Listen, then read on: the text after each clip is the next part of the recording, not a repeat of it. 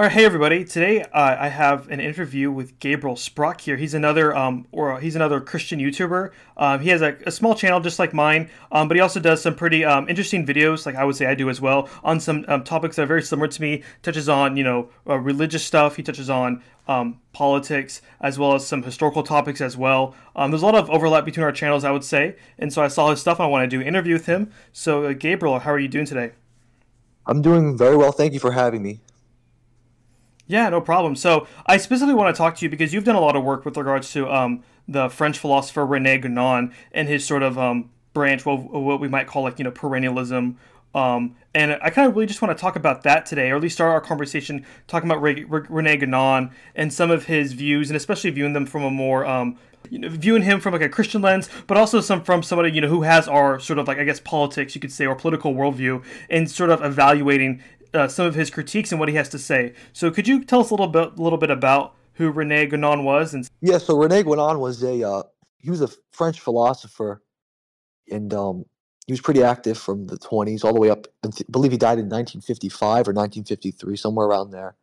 He uh, he first started off. He went to college for mathematics and physics, but uh, he always had an interest in esotericism specifically Gnosticism and Hinduism in his early uh, his early writings. They really focus on that. But he's he's mostly known for two books, uh, Crisis of the Modern World, which is a shorter book, and his like magnum opus, uh, The Reign of Quantity and the Signs of the Times. And I guess you could kind of view him as the founder of perennialism in a way. Um, he wasn't as explicit a perennialist as someone like um, Frithjof Schuon or Martin Lings, who really, I guess, formulated the theory more coherently and more concretely.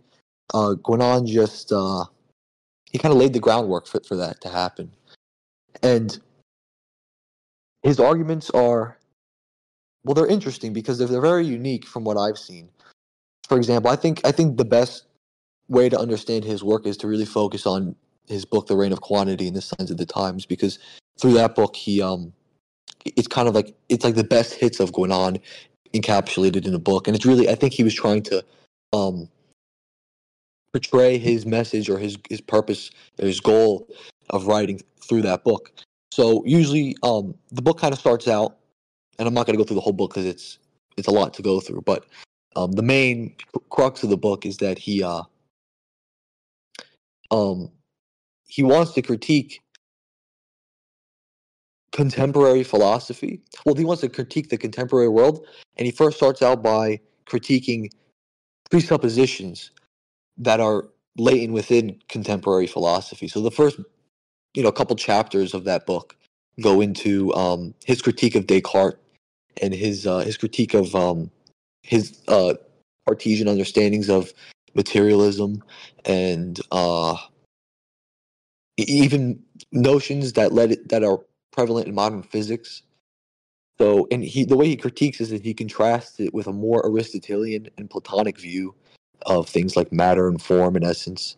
He divides the world into an essential pole and a substantial pole.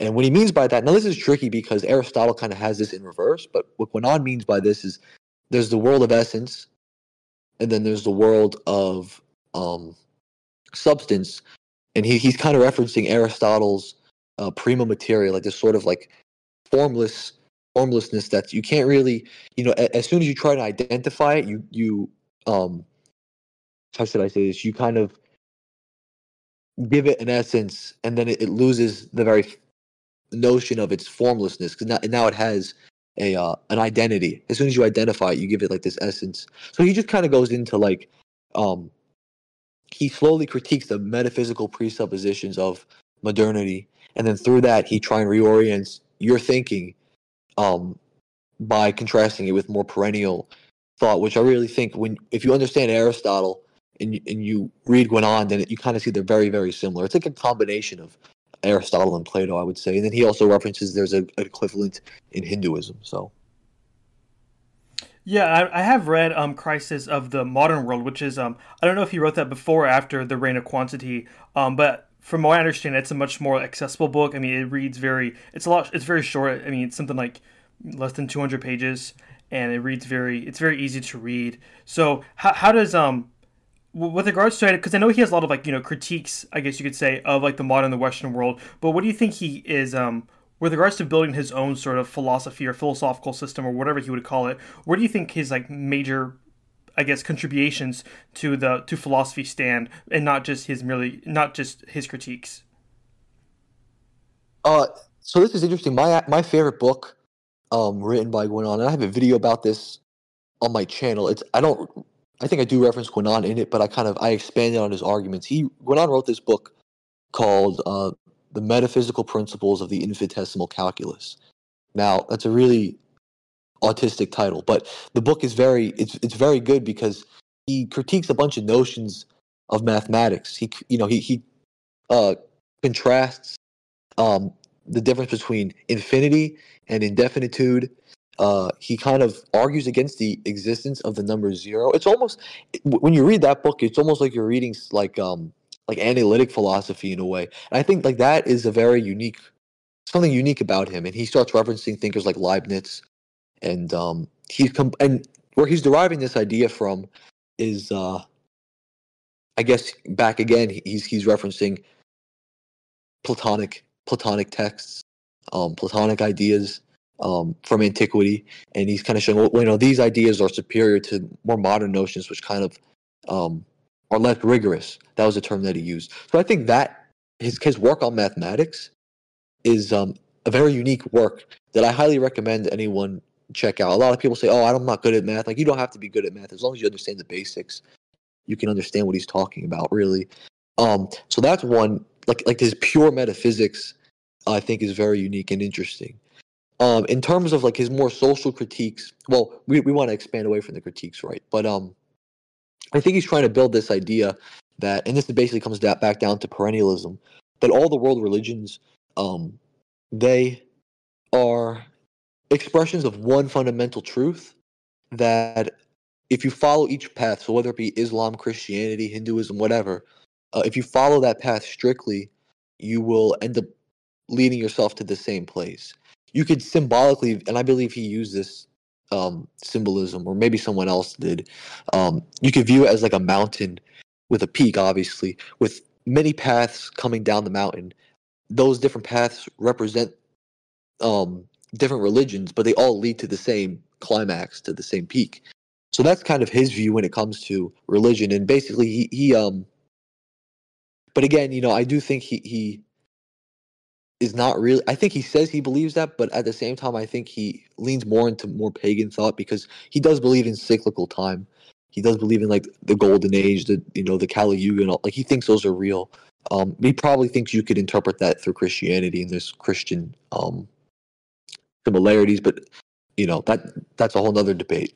But um, but yeah, so he's kind of this um platonic perennialist, I would say, because underneath all that truth is, you know, this platonic God. But for Guénon, it's he expresses himself through the world religions to different people. So uh, different people have different um, experiences of the world, and God caters to each experience according to Guénon. So I think that's really like if you want to really hone in on what Guénon truly believes, um, that would be it.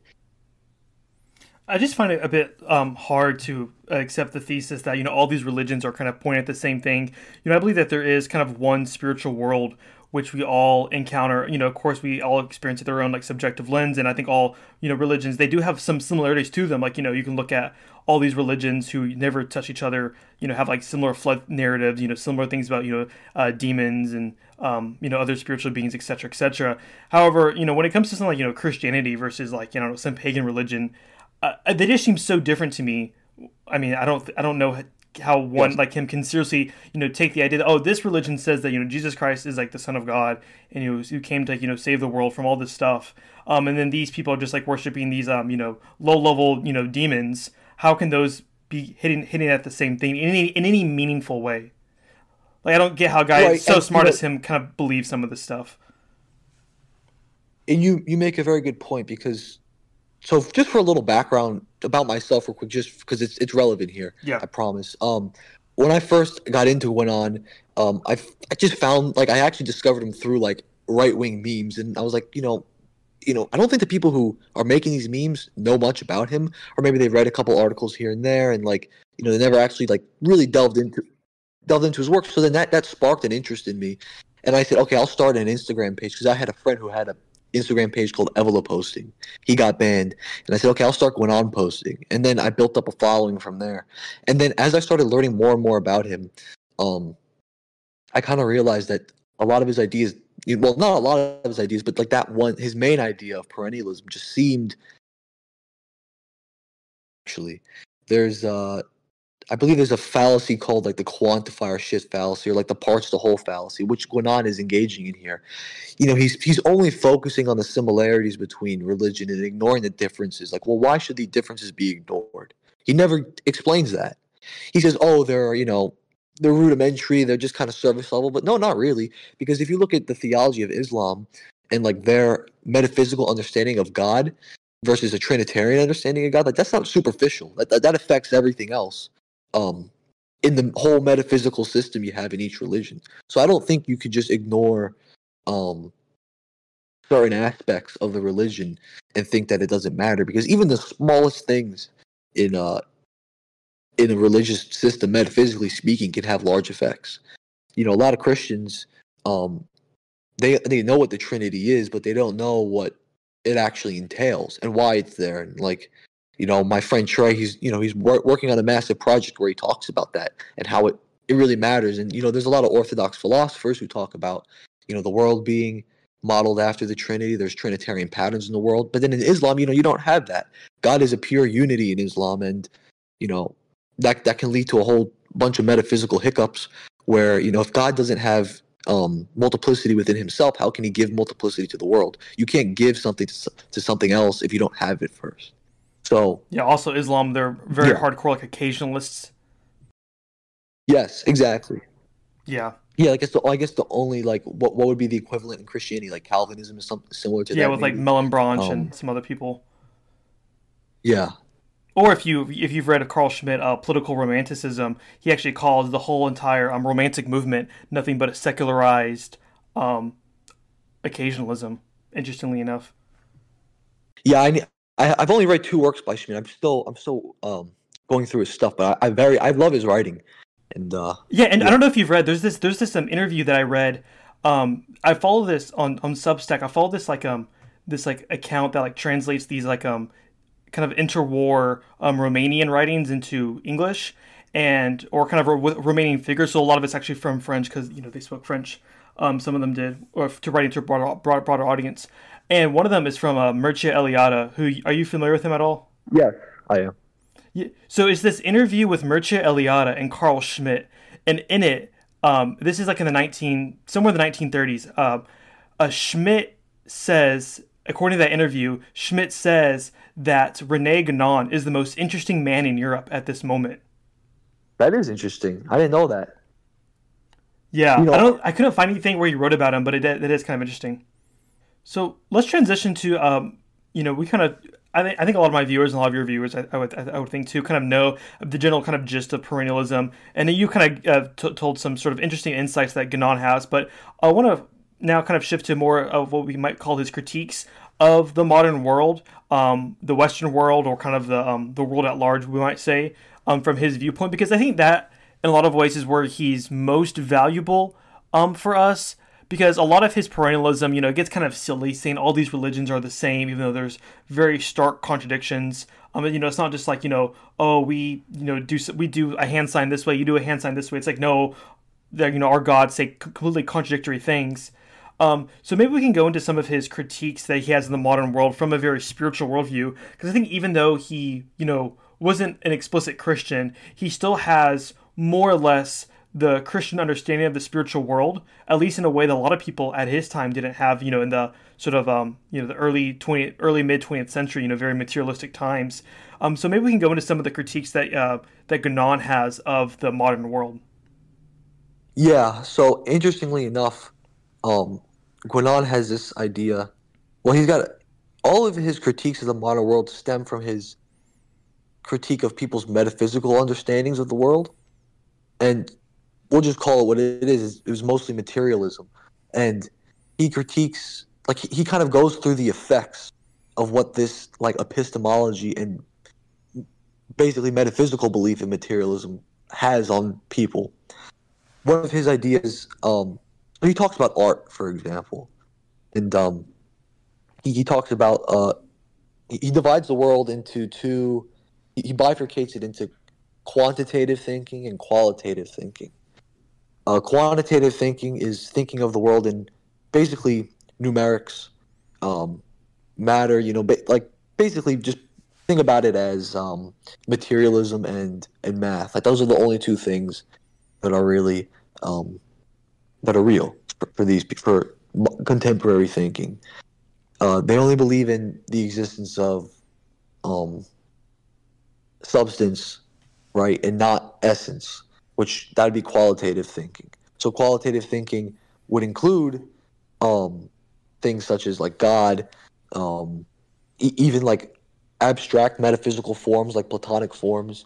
Um, even like th- like things like math would have a qualitative aspect and a quantitative aspect. Now Guénon says math is this um, it's a it's a field of pure quantity, but then at the same time he says um, you can't have pure quantity and you can't have pure quality. Like they kind of necessitate each other, um, which leads mm-hmm. me to believe that he believes in eternal creation, in my opinion. But and that would make sense given his view of time.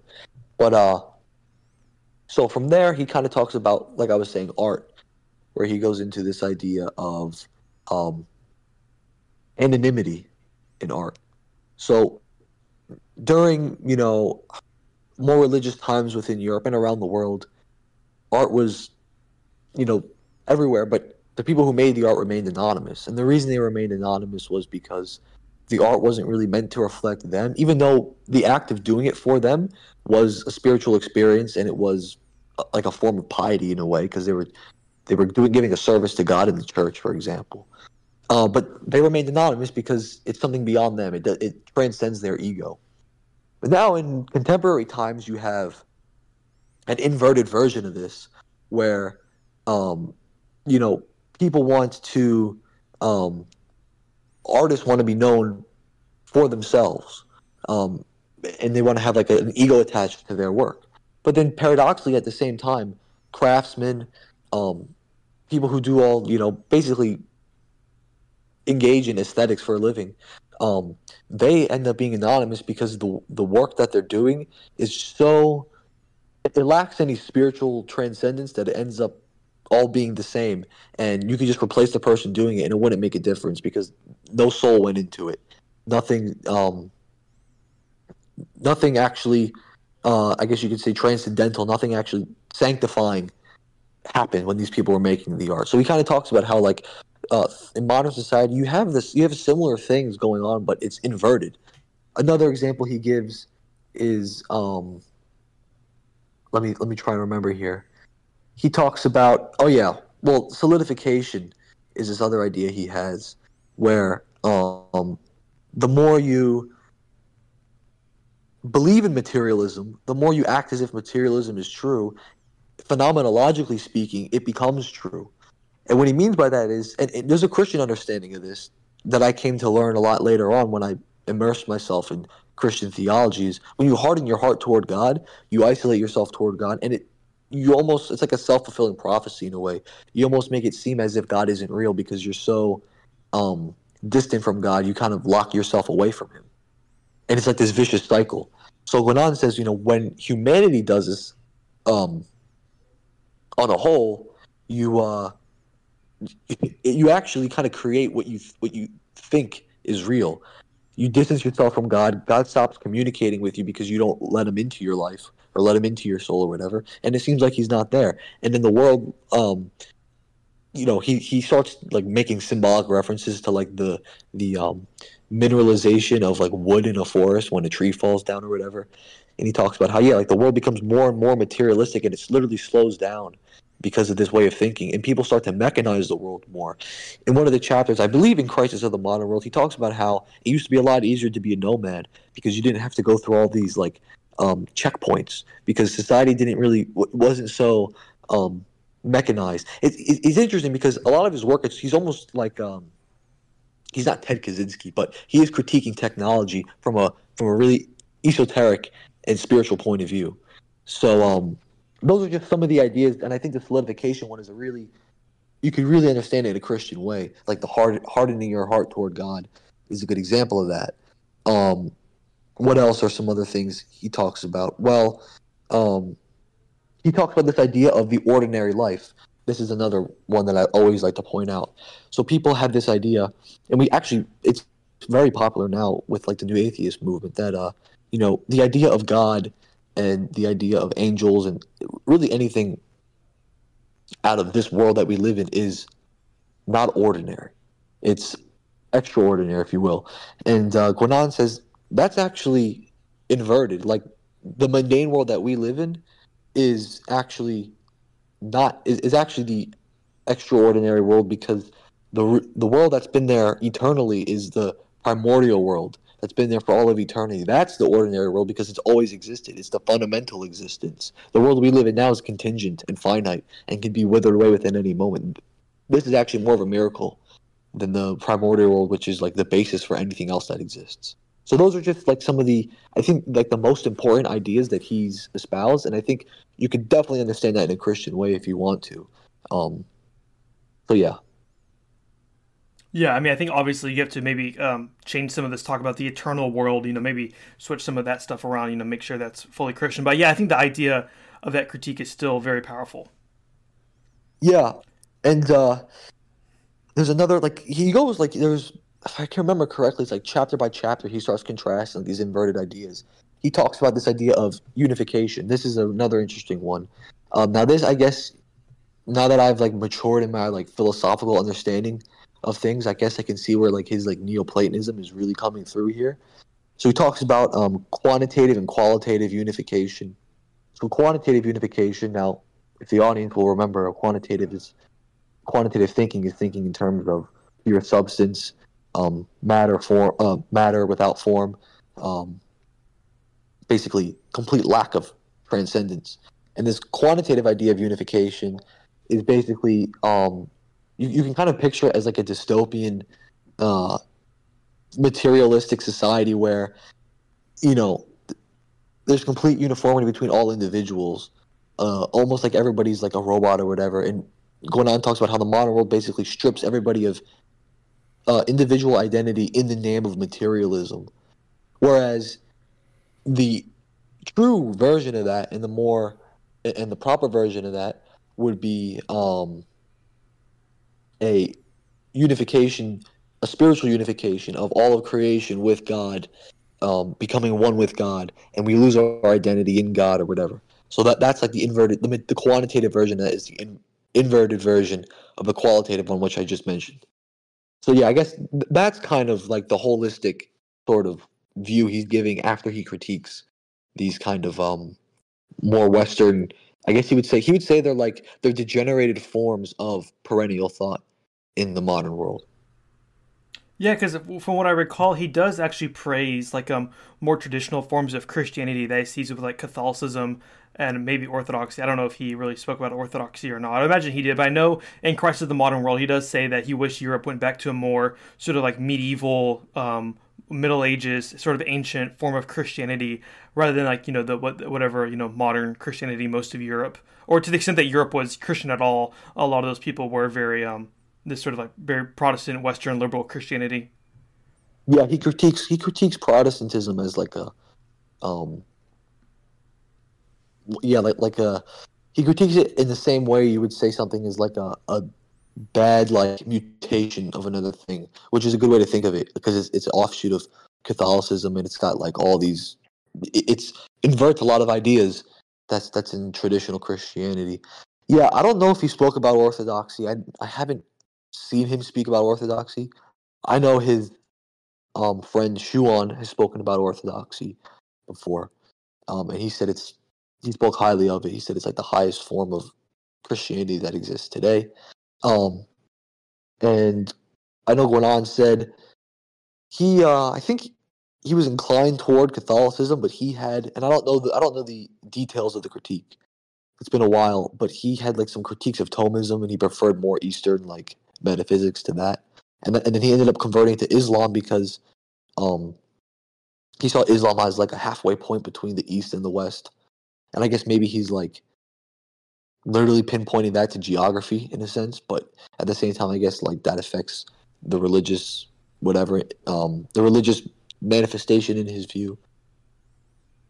So another thinker um, who is related, in some sense, you could say, to Guénon is Evola, and I know Evola, uh, Julius Evola, who we're talking about, the uh, the Italian um, philosopher, who's a bit, I guess he's like a what, like kind of like the generation after Guénon. He's a little bit younger um, than Guénon, but like they were still, uh, you know, contemporaries at one point. Um, yeah. And he actually has a favorable, even though he kind of has this weird sort of like pagan perennialism, he actually speaks highly favorably of orthodoxy. He says it's like the best form of Christianity. Um, even though he does really critique Catholicism and Protestantism, he does say that um, uh, orthodoxy is sort of the best expression of Christianity, which is interesting. Um, but let's go a little bit into um, Evola, who's a sort of um, oh, we were talking about this earlier, but he's a little bit of a uh, unorthodox a student of Guénon. They never had really any official contact. I know that Evola sent him some letters, Guénon some letters, but I don't think uh, Guénon ever responded to them, or maybe he never got them, or whatever. Yeah. But Evola uh, did look up highly to Guénon, and maybe you can explain a little bit more. Yeah, about the letters. I have the letters posted on my Instagram page if anyone wants to read them. I don't think. Yeah, I think you're right. I don't think Guénon ever responded, but um, is interesting. Evola is more. He's definitely more pagan than Guénon, I would say. And Guénon was probably yeah, he was more friendly to all the world religions. I know Evola has this book called uh, Pagan Imperialism. I haven't read it, but from what I've heard, it has something to do with you know um, the destruction of paganism within Europe by Christianity and how this was bad. I might be wrong about that, for the record, but this is what I heard it was about. Um, Evola, he's you know the two very good books by Evola that I that I have read is Revolt Against the Modern World and The Metaphysics of War. Um, they were, you know, he, he's a very interesting writer and, and he's entertaining to read. But um, yeah, Evola. I love all the little like uh, I love when, when you read him. He goes into all these little like rabbit holes and tangents. Like, what does this have to do? Like, this is interesting, but what does this have to do with the point that you were just making? Like I remember I read um for instance like the, the metaphysics of sex I believe and he's talking about like um the different like you know the genders and sex and this stuff and then all of a sudden he says like oh by the way I don't believe in evolution uh, I just believe and I don't believe in evolution I believe in de-evolution man doesn't come from apes apes come from man okay back to talking about sex yeah he's really like all over the place with his writing and it's, it's kind of funny like um he uh like when I was reading Revolt Against the Modern World, like there's points in that book where he like will refuse to translate a word. So if there's a word in Greek, he's just gonna leave it there in the Greek script, and you're just not gonna know what it is unless you, you know, take a picture of it and then Google it. When you know, he, he just doesn't care to translate, which I thought was really funny. Um, Evola has he he believes more in like the cyclical view of time, and that's why he has this idea of ride the tiger, where like you know, there's really nothing we can do about the modern world except just wait it out, basically. Um, and it's like it's going to be like a spiritual thing. Interesting things I remember from Revolt Against the Modern World was his critique of communism and capitalism. I mean, it's not that unique to be honest, but he just he's got a similar like I it very it seems very Guénonian in the sense that he calls them both like materialistic views. Like he says something along the lines of like, uh, it doesn't matter who wins the Cold War because you're just going to end up with the same like materialistic society in the end. Uh, I, I, believe he did say something similar to the line, uh, you know, communism rots uh, the body and liberalism rots the soul, something like that. Um, I don't know if he said that verbatim, but I'm pretty sure he did say something along those lines. Sure. Uh, the Metaphysics of War I, I really do like that book. That that's probably my favorite book by him that I've read. I like this idea that um, war can bring out it, it, can help you mature in a certain way. And um, now he also critiques modern warfare. So does Guénon, and their critiques are both very similar. He talks about this idea that you know modern warfare with its high mechanization is more destructive. That's obvious, but it's also it, it lacks it leaves a lack of ability for heroism because you can't really you don't have like an opportunity to actually like face an opponent one on one like you used to if you're fighting with swords or whatever. He talked about this idea which I believe he gets from, well, he does get this from Islam because uh, he references the word jihad. Um, well, there's also Christian jihad, but he talks about this idea of, you know, the inner jihad and the outer jihad. Like you go into war and you're actually fighting two wars. You're fighting a war within yourself to crush the fear of dying, and you're also fighting the actual physical war. And if you're able to crush the war within yourself, you end up, um, let's say you die on the battlefield or whatever, you know, you're going to end up going to paradise because you were able to conquer your own soul. And if you win on the, if you win on Earth, then you win on Earth. But an, an interesting idea that he goes into is this idea of like these pagan religions had less of an emphasis on uh, the uniqueness of a person's soul, and they're like you you like if, I guess what he's trying to say is like when you die in in this paganistic sort of worldview, you just end up emerging back into oneness. You kind of lose your identity, um, and that that's kind of the route he takes with the afterlife. From what I remember, he talks about how sports are, you know, modern sports are like a degeneration of heroism and uh, they kind of just turn. Basically, it's like a it's like a massive LARP for being a real hero, according to him. And he references like Aztec uh, sports, where uh, I'm sure everybody knows this. I don't know the name of the sport, but it's that it's that game, the Aztecs, or I don't, I don't know if it was the Aztecs. Oh, with like the sure. head. Yeah, or with or like yeah, where they, they throw like a ball through like a like a stone hoop, and whoever wins actually ends up getting sacrificed. So that creates an incentive to lose, I guess. Uh, but uh, no, but I thought being sacrificed is like a good thing though. Like if you yeah. like that's your reward, right? yeah, yeah. For, for them, you know, getting your heart ripped out in front of a thousand people is like that. that that's an honor. So he, he, he talks about how like yeah, like modern sports is just a total like degradation of like real heroism and real like you know ritualism. Um, he does reference. I, he does literally believe in the Hyperborean stuff. Um, I, I do think in one part of the book he talks about how like uh people from I, I don't know he, he tries to make like the really like ramshackle anthropological argument uh about how like uh, there's like really big bones in Antarctica that we can't identify, and these might be like ancient Aryans or something. And he just says that out of nowhere, like he does with evolution. Um, Source, that's what trust makes it, me, bro. Yeah, it's that's really what it comes down to. It's like, um, see Evola. He's in a way he's kind of post. I hate to say this, but like he argues like a postmodernist would argue in the sense that if you try to like say, well, you know, what's your justification for this? He'd be like, justification is a modern concept, and I reject it. Like that's something he would do.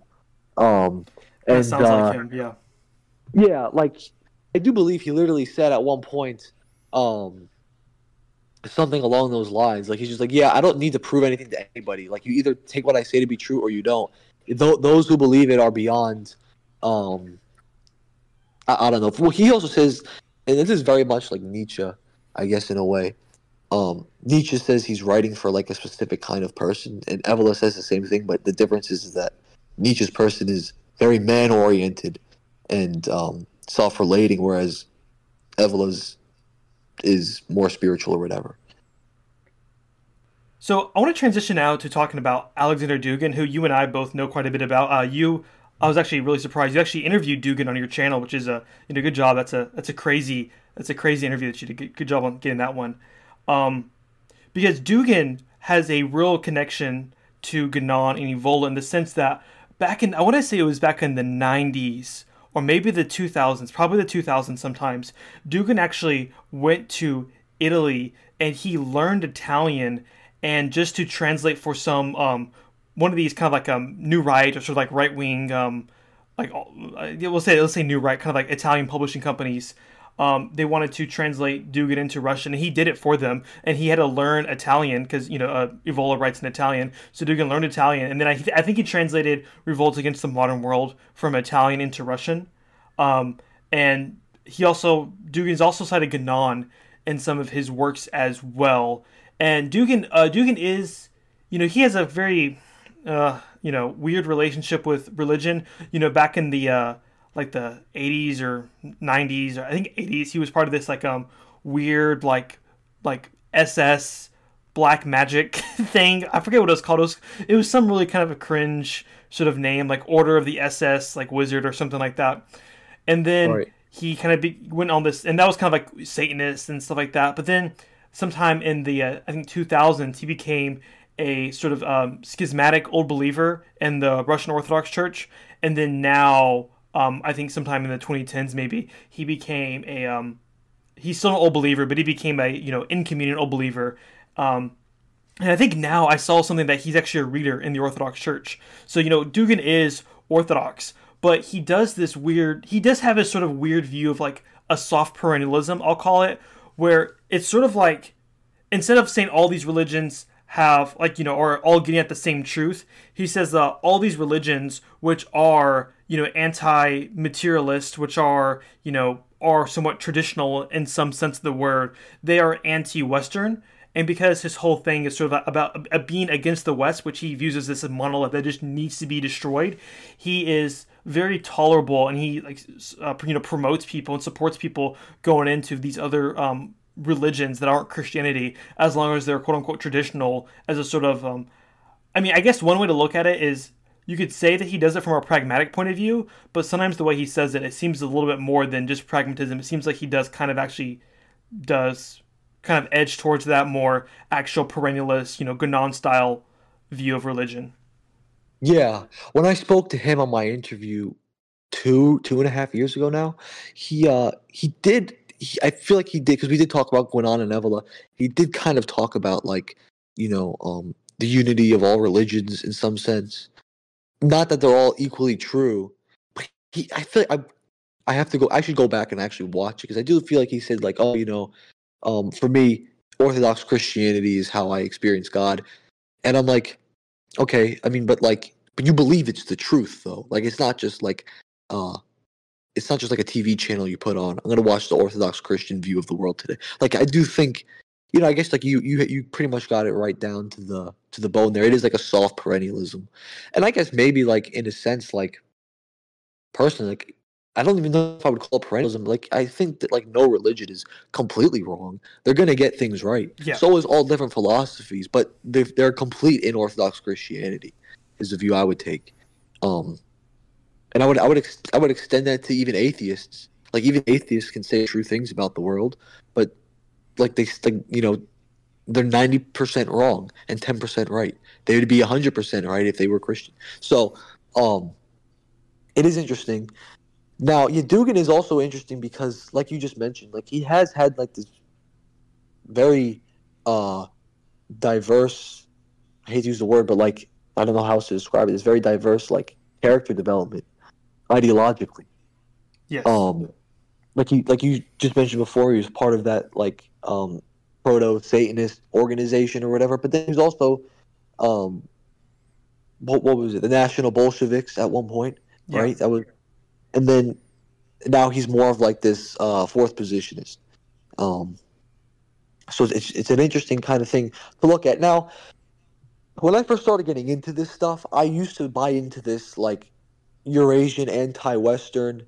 Uh, I don't want to say narrative, but I guess you could just call it like ideology. But then I kind of like when it comes to materialism being a Western phenomenon, uh, it's very prevalent in the West, that's for sure. But like, I don't think the East is uh completely immune from it. I mean, you had communist regimes in the East for a very long time, and you know, Marxism is they, they their, their metaphysical worldview is dialectical materialism. Um, Maoist China, pretty, if I'm not mistaken, is pretty similar, and it's it's probably you know it's probably like a heretical form of materialism or whatever. But um, trying to understand Russia now, it's very hard because it, it has like all like it's almost like Russia has like a bunch of influences from all points of its history, and it's like combined into mm-hmm. one. And you have people who try and focus on one only and ignore the other ones. Oh, Russia's a traditional Orthodox nation. Oh no, Russia's actually, as Haz would say, you know, uh, a secret MAGA communist, you know, uh, society yeah. in, in, the making. So it's like it's very hard to really pin pinpoint down. Um, but uh, yeah. So I was getting off track here for a second. Um, but uh, Yeah. Well, I'm sorry. What, what was your You're talking about the question? Eura- again? you, oh, we, you're talk- we were talking about the Eurasianism and how you were kind of with it, but then now you're against it. Yeah, I'm. Uh, I mean, I understand the point of view of the Eurasian idea. Uh, I think, you know, because Dugin has this idea of like uh, civilizational design, which is an idea I really like. I think it, it is yes. really true. Yes. Um, and he talks about how like Russian, you know, he's got that famous line, "We have our own Russian truth" or whatever, in that interview. Now, people probably misinterpreted what he meant by that. Like, I don't think he's literally saying what we want to be true is true, but he means like our understanding of the truth truth is going to be different from the understanding of the truth in England or whatever. I mean, I think it's just a basic like um. I think it's just like a basic like, phenomenological point, right? It's like you know you could Yeah. say that there is a quote unquote objective world out there. I'm fine saying that. However, we can't we can't access that world objectively from a sort of God's eye point of view. We can only access it from our you know subjective finitude. So therefore, whatever way we view the world is going to be interpreted through our own you know subjectivity. I don't think that's a controversial point to make. Correct, and I, I agree with that wholeheartedly. Um, that's really it's. I mean, it's something that Kant would say in a way. Um, that you know, we don't know the thing in it in itself. We can only know it through our own like subjective apparatus, right?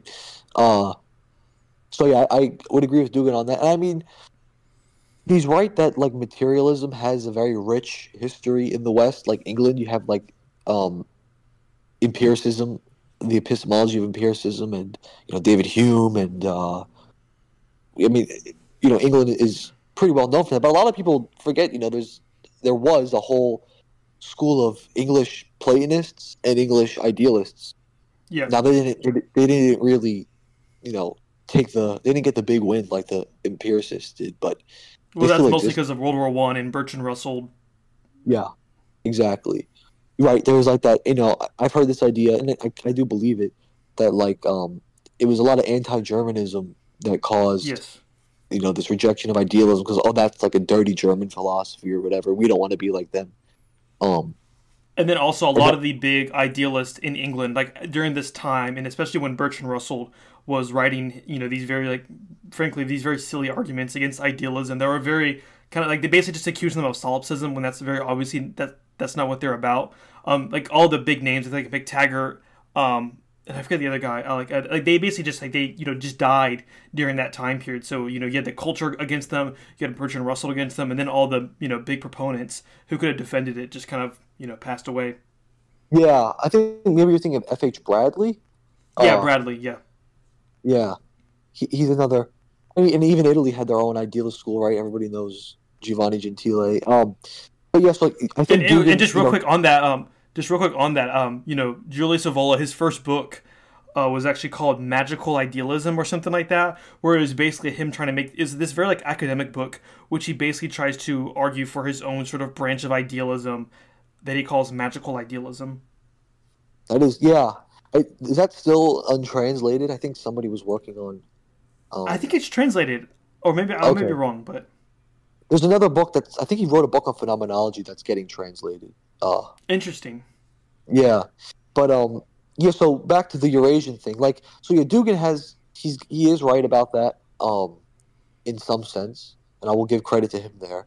But I do think you know, if we look objectively for for a moment here at Russian culture, and you look at the history of Russia, um, the Russian people are an Indo-European people. They share a language, they share a a literal like racial material component with the rest of Europe, and then their culture is an extension of you know European culture. So I think they have more in common with Europeans than they do with um, actual like East Asian peoples. Now, from a geopolitical perspective, they've allied. I think they're they're probably more allied because of um, ideological commitments. Because if you look at Russia, I mean, Russia was at war with Japan during the time of Tsar Nicholas. You know, like so they were at war with other countries in the East. Um, so I do think like, and I, you know, obviously like when it comes to culture and ethnicity, like the, the line, like it is a spectrum, so to speak, like because it is all over the world, right? It's going to blur out when, once you get to certain parts of the world. Um, you know, the further east you go in Russia, like you, you have like, you know, um, Asiatic peoples who speak the Russian language, and they but they still maintain their own you know sort of like like Tuvans for example like they still know their own language but they uh they like speak Russian a lot of the time as well. So I, I think like uh Russia is very it's hard to understand because in one sense it is very European. The western part of Russia is very European and then it kind of merges in with like uh Oriental culture in some sense. But uh, I think it's more European than than um Asiatic. But I guess from a geopolitical perspective, I understand why they would want to pursue Eurasianism. But uh, I, but I think, this also has to do with um, if I could, I think part of the you know understanding Dugin's view of Russia and the sort of Eurasianist thing um, has to do with his view of time, right? Because for him, he understands as like kind of like you know Saint Augustine understands kind of like time, you know, the past, present, and the future. Phenomenologically speaking, they're all sort of like they all have similar like in fourth political theory. He says they all have similar, I think, um, phenomenological weight, right? Because the past is already gone, the present is always fleeting, and the future is not yet. So they all really have no existence. So he therefore uses that um, to say that the past, the present, the future all matter. So when he's thinking about Russia and what Russia is, he's not just thinking about the past he's not just thinking about the present, but he's also, I think, incorporating the future of what, in his view, Russia ought to be and what Russia will be, you know, under his uh, viewpoint. So I think that that's also something to take into account when you look at, you know, his view of Russia not being a, uh, uh, you know, very distinct from Europe. I think the other uh, main thing as well is that I think he, the spiritual aspect is also important for him, right? Yeah. So I think he sees the uh, the Eastern Orthodoxy or uh, the, so the Orthodoxy of Russia you know, even though you know you might say, oh look, you know, only like you know, you know, two percent of Russian people go to church every week or something like that. He said, okay, maybe that's true today, but in my ideal world, it's like hundred percent or whatever. So right. when you also take into that account, he views the Orthodox Catholic divide as also very important, which I think as an Orthodox Christian you should. Um, so yeah. I think there's a lot more to the Eurasianism stuff. I'm not saying he's completely yeah, right, I, but there's nuance.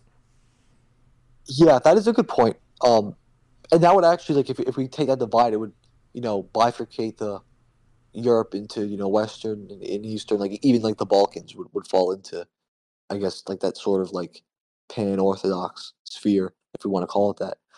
I think um now like well yeah I mean Dugin is a Dugin Dugin does like the Slavophiles who wanted to sort of um you know orient towards like you know the Slavic people and the Orthodox people rather than the West, so it's not really surprising. Right.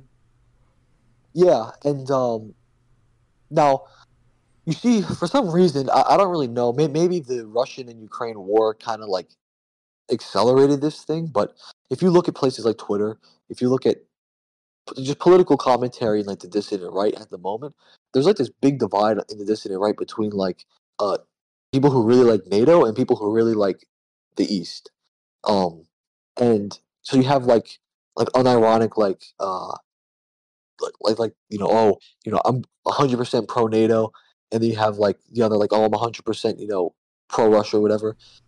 In my view, like in my ideal world, because I can only speak for myself here, I would uh I would want like the end of the schism between East and West, and I, I want like a reunification of Christianity. I'd like to see how Europe was like before, um, you know, when relations with Russia were good for the most part. Yeah, but it, it would even be more so because you know like pre-schismatic would be ideal is in my opinion. And I, think i think once you have that divide kind of destroyed you know once we're all on the same page uh, of christianity then you'll kind of have like this sort of probably more of an identification of slavs with the rest of europe um, in my opinion if that was if that were to happen.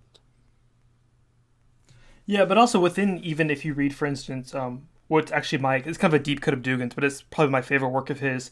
Um, it's called Ethnos and Society, um, which is a pretty good book by Dugin. It's pretty short, but it's like his um, ethnosociology. Um, and in that, he always talks about how you know these things could change, like these ethnoses, these peoples. They're not set in stone. Just because they've been there for a while doesn't mean they always have to be that way. There could be uh, a new ethnogenesis that takes yeah. part so I think even within Dugin's own ideology, there's um or his own sort of intellectual framework, there's room for these things. But I think in his view, he wants to see uh, you know, Russia kind of reemerge as one of the a pole, like one pole in the multipolar world, and so because of that, he sort of has to, um, uh, he has to want to take all of the uh, what we might call the remainder of the Western civilization. So if you take the or if you take the global order and everybody who's not part of that, people who are you know rebellious to some extent, you know like Yemen, Syria, Palestine, Venezuela, China, you know, and you know some of these other countries as well.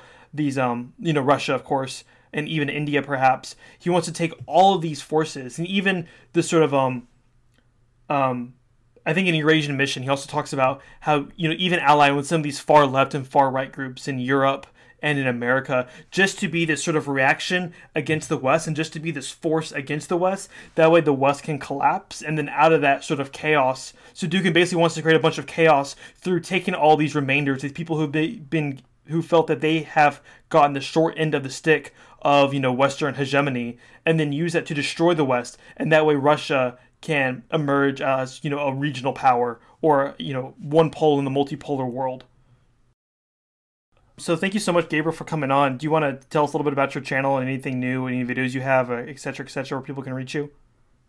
Yeah. So um, currently in the works, I'm working on um, a video. Uh, I'm going over a lot of the videos I do are like basically analyzing books and simplifying them. So one of the, the videos I have coming up is uh, Capitalism, uh, Socialism, and Democracy by Joseph Schumpeter. It's going to be a while before that comes out. It's a very long book. It's a very long book. And uh, if you would like to reach me, you could reach me at uh, Gabriel Sprach at gmail.com. I should have had that up on my channel. I, don't know if it's there, but that is my email if anybody wants to has questions or wants to do an interview or whatever. And you can also reach me at my Instagram page, Guénon Posting.